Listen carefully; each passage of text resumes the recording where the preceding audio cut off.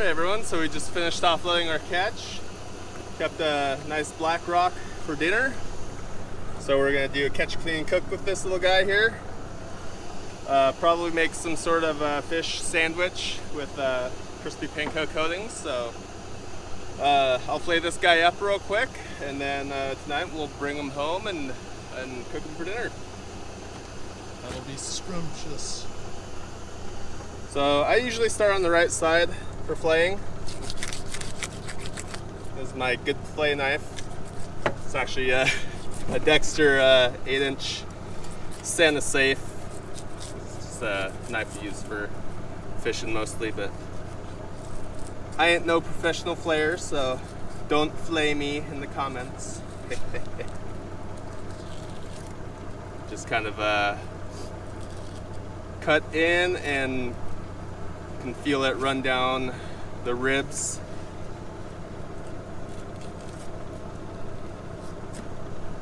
Right around here you'll run to the spine and you kind of just curve over it down onto the other side of that flay.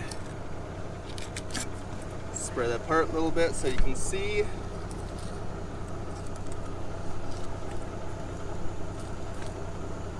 Oops. And right here the rib cage comes out, you just kind of curve up over it. Some people just cut into it and trim them up later, that works. And there's kind of like a little indentation right here where the back side of the ribs come down.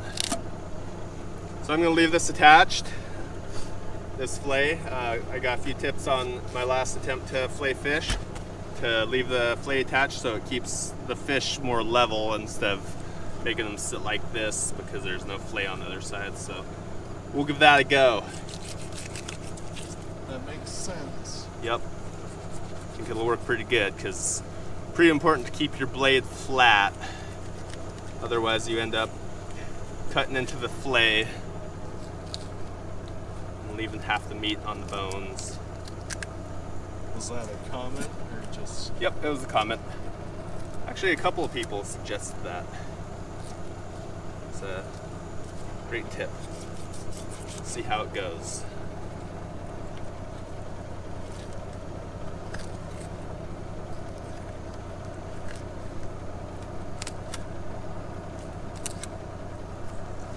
Eh, a little messy.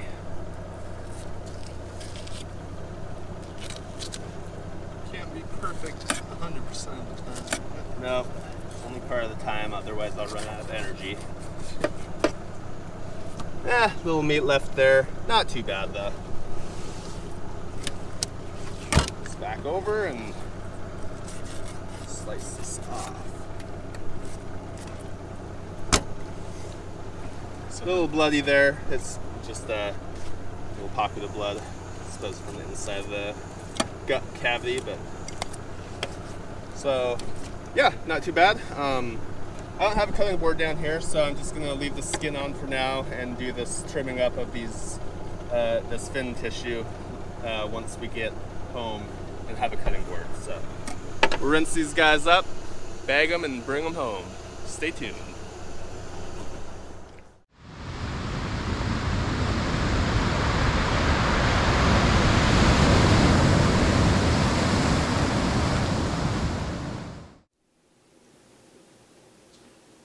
All right, everyone, welcome back. Uh, earlier today, we cut up this black rockfish fillet on the boat. Um, tonight, we're going to be making a crispy panko fried uh, fish sandwich. So, as you saw, I flayed it up on the boat, so now we're going to trim it and skin it.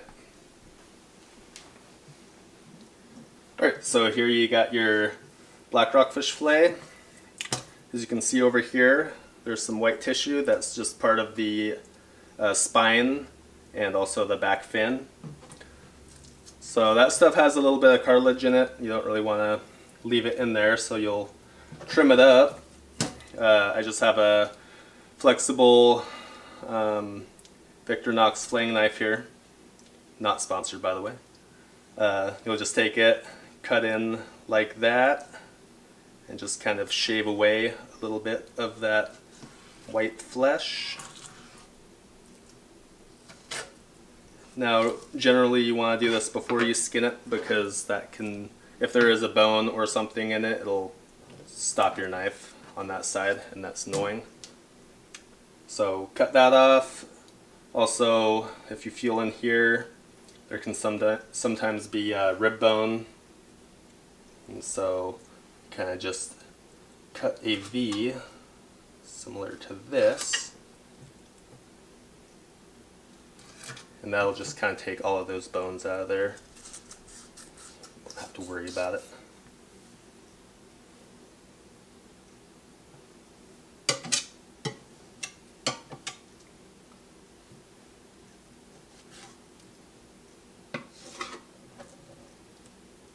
Trying not to block the camera here.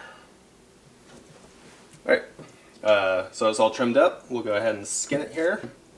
So what you want to do is take your knife and just cut straight down along the tail. There's a little bit of flesh here that's not very thick, so don't worry about wasting it, but enough room to kind of get your fingers in there and grasp that flesh that you left behind. And you just kind of work your knife in like that at probably around a 30 degree angle enough to just lift the skin or cut the skin away from it and get a handhold on it. And then you can kind of both work your knife back and forth like this and also the flay like that. And that'll just skin it. Just like that. Ta-da! So there's some brown skin left on it, that's just like the omega-3. We don't generally take that off because it's good for you. So we'll leave that on. Look over your flay for any more trimming that needs done. Sometimes some more of that skin uh, comes off, or some more of that white tissue comes off the skin on the top, usually. So cut that up. check for any parts that got left behind on the back side and it looks pretty good. So I'll go ahead and give this a rinse. Get all those big scales off of it.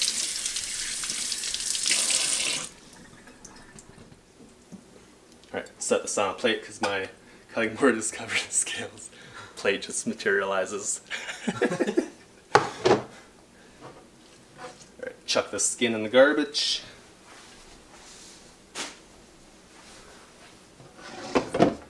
Give your cutting board and knife a quick rinse.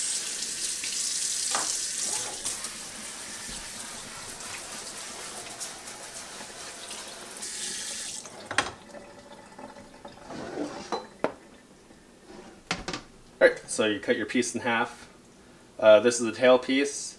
It makes great fish sandwiches because it's uh, skinny and cooks easily and quick and uh, consistently. And this thick part is the loin. Um, usually you want to cook tails together because then your sandwiches all cook at the same time. That's if you're cooking for more than one. But in the case of this loin, you can actually cut it in half, like butterfly it, and it'll pretty much be the same thickness as your tail piece. So we'll go ahead and do that now.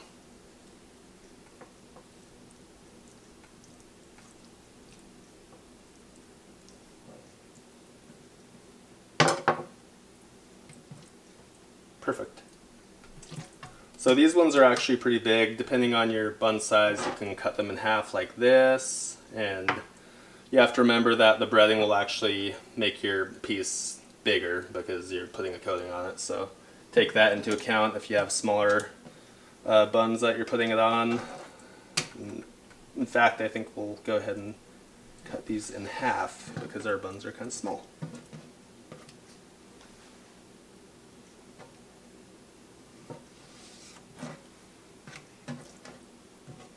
Alrighty, perfect. Okay, so we have our four pieces there. We'll bring them over the breading station and get frying. Alright, we're over here at the breading station. Uh, first we're going to start by seasoning our fish here. Uh, just going to put some salt on them. I don't know, kind of mixed opinions on whether you should season your fish before or after. as far as salt goes anyway, because they say it takes the moisture out of it, making it less moist, but I don't know. The way I figure is that if you don't season it before you put your breading on, then your fish will be bland. So just throw some salt on it and it'll leach some moisture out of it, so just let it sit for a few minutes. Also, uh, I feel like if you don't do this, then the extra moisture will leach out and make your breading soggy, so this is the way I like to do it. Alrighty, so a few minutes later, um, and take your paper towel off these. Fire up our pan here. Just have regular uh, corn oil, canola oil, whatever you want to call it. Fire up your pan, get it heating. You have just probably about a tablespoon of oil in there. Maybe a little bit less, not too much. Uh, you want to flour your flour your flour.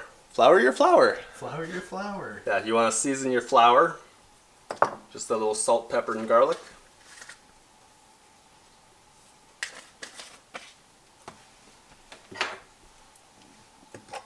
Just mix it a little bit.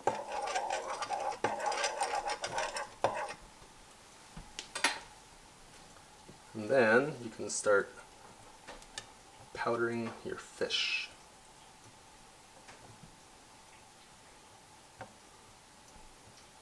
Get a good even coating. Make sure all the sides have it. And just shake them off like that. Now if I were smart, I'd have another plate. But I don't. so, yeah, just do this to all your fish pieces. Set them aside. Keep letting your pan heat.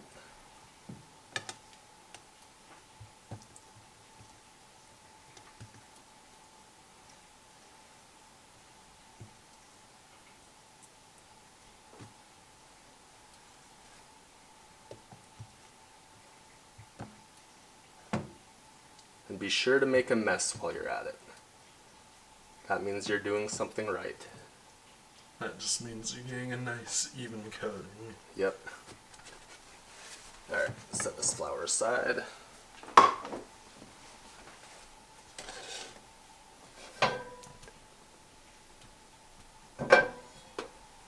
Now never do that if the pan is already hot, unless you want to singe your fingers. We actually have one of these Lodge handle uh, oven mitt things. It's pretty nice. Yeah, just keep heating up your pan there, and once it starts, just kind of, uh, you'll see waves from the oil. Uh, no, I'm not a cook, so I don't have like specific terms for stuff. But anyway, carry on.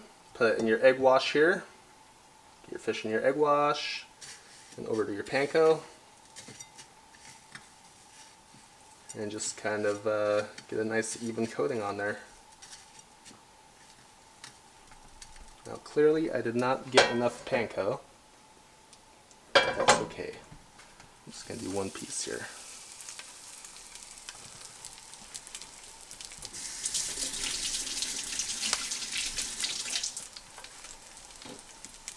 So you want nice high heat. Um, roll the oil around it a little bit. And you don't want to leave this for long. It's probably only a couple side, a couple minutes per side.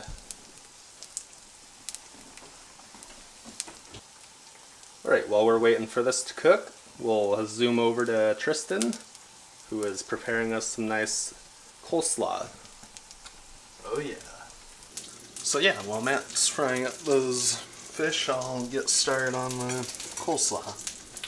So we've got some mayo. Whoa. Whoa. Almost dropped that. Uh, so for mayo, I'd say probably like a, I don't know, like a tablespoon or so. Just winging it? Yeah, Nice. I, that's what I usually do. I, I'm too lazy to actually measure it out. Just go by taste, huh? Yep. Nice. So yeah, like a I don't know, roughly a tablespoon of mayo or something, and a little splash of vinegar. Oh.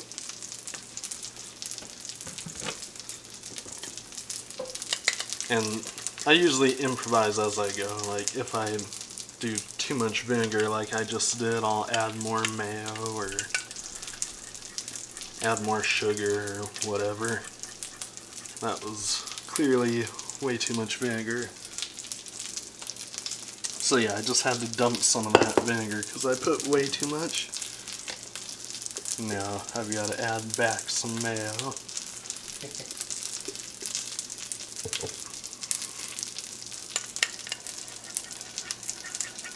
Just mix that in. There we go. Okay, so we got mayo and vinegar. I'm going to add a, a little bit of sugar. Probably like, I don't know, a, a teaspoon or something.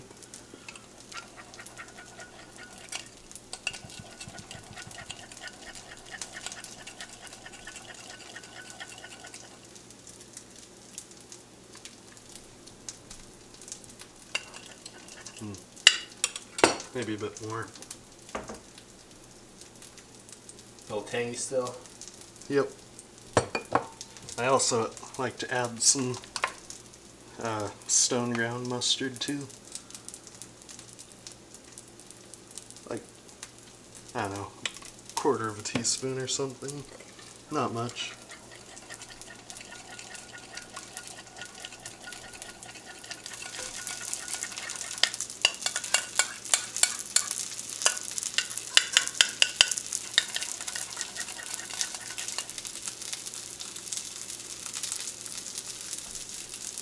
Good. Nice. Want to give it a little test, Matt? Delicious. Nice. Did I succeed? I'd say that's a pass. Oh, a pass? Just a pass? A good pass. okay. Alright. And then uh, for cabbage, I like. Again, not. I don't really measure stuff out, so I usually just like go next to the stem, but a little bit outward, so you don't get the bitter core mixed in. Then I just thinly shred it.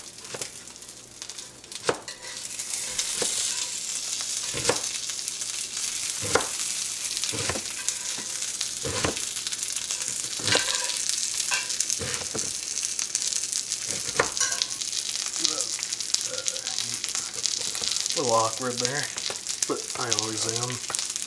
Then just cut that in half. And, uh, that should do it for the cabbage.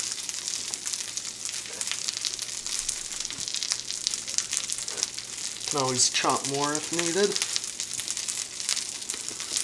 Just mix that in. And yeah, add some salt because I forgot to do that when I was making the sauce. Mix that in.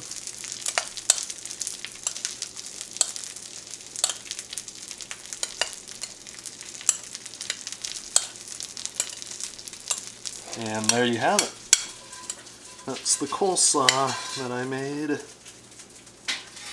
Pretty good. Alright, so we'll do our first flip here. You can kind of see on the sides, it starts getting brown. So just keep an eye on that. Scoop it up, move your oil over the spot, flip it over. Nice. That's a nice coat. Yeah. Nice breading. It-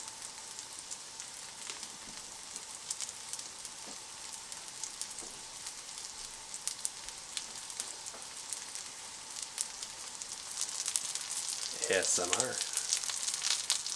yeah.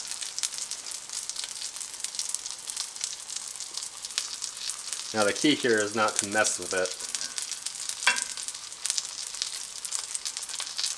Just let it do its thing. Alright, looks like the bottom's about done. Put it off here. Move it over to our plate.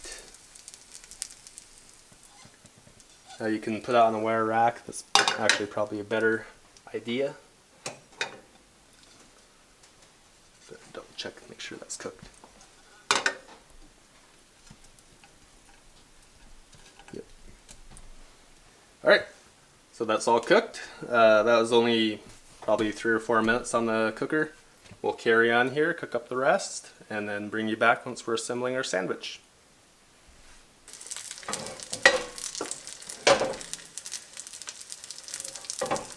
I think I need a little bit more oil in here. Shoot it right in the middle. There's about a tablespoon in total, I'd say. Just so that it makes contact with panko and makes it nice and golden brown. So you're wanting to cook these about two minutes each side, but the best key is, or the best indicators visually, just watch that your panko isn't getting too brown. When you see it start getting brown along the bottom edge, that's contact with the pan, flip it over. That'll be fine. Here's our four chunks. You can keep these warm in the oven, probably just set it for like 150. Don't want to continue cooking them, otherwise they'll dry out. But uh, yeah, you you want actually want to cook your fish pretty close to the time that you're ready to eat it. Otherwise, the panko does tend to get a little bit uh, soggy. So cook them as close to mealtime as you can, and they will be delicious. Also, uh, apply a little bit of salt to the top of these. Sticks to the oil, and there you have a delicious tray of panko rockfish. Yeah. Whip a quick aioli here. This is just like a cream sauce for your bun. Probably about a tablespoon of uh, sour cream, tablespoon of mayo,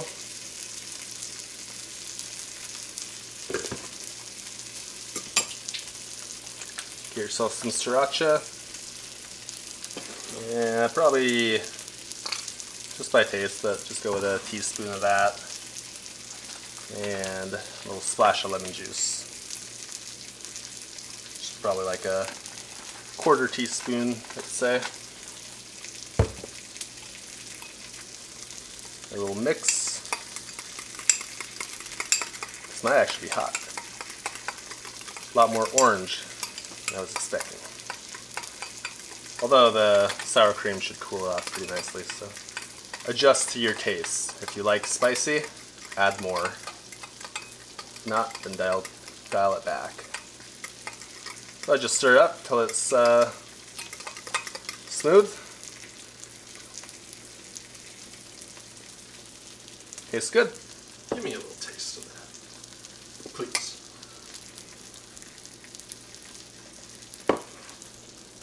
Yeah, looks good. Alright. We'll get our buns going, make our sandwiches. Alright, so we just threw our uh, our bun in the toaster real quick. Uh, go ahead and put together our sandwich. Get yourself a little dollop of this aioli. Spread it on. And these uh, fillets are a little bit big for these buns, so I'm going to go ahead and pull this one in half. Set that on there like that. And this is the way we like it around here. Uh, we actually put our coleslaw on it. Gives it a nice tang, a crunch. Pop the bun on top, just like that.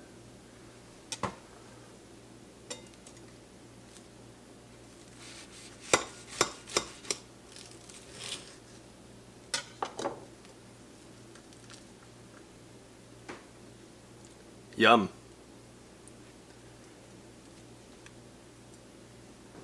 All right, buddy. Cheers. Cheers.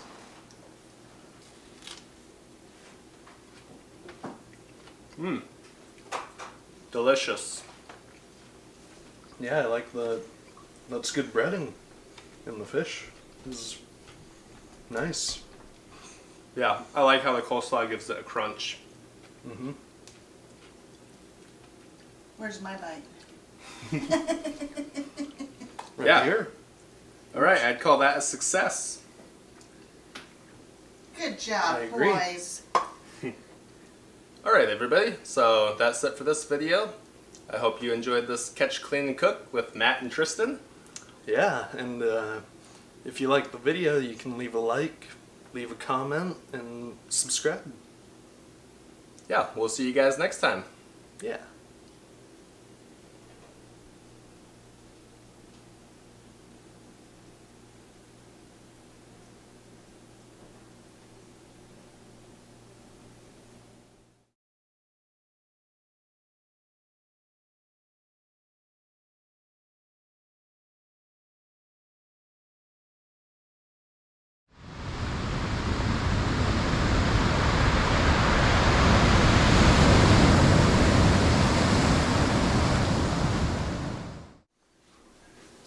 Gobble that sandwich, and I'll record you. You know, somebody's gonna notice my pieces falling. I think somebody's also gonna notice my sideways sandwich bite. It was like the classic thing where some actor who looked like Justin Bieber dressed up as him and like ate a burrito from the side. uh, I can't wait to watch it.